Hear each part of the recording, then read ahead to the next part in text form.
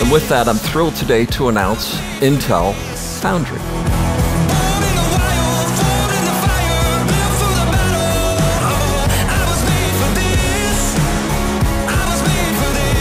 We're ready to earn the right to be your foundry. Nobody's going to give us that. We want to earn it.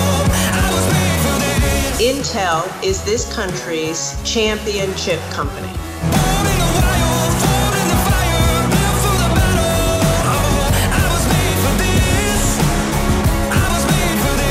We have chosen a chip design that we plan to produce on Intel's 18A process.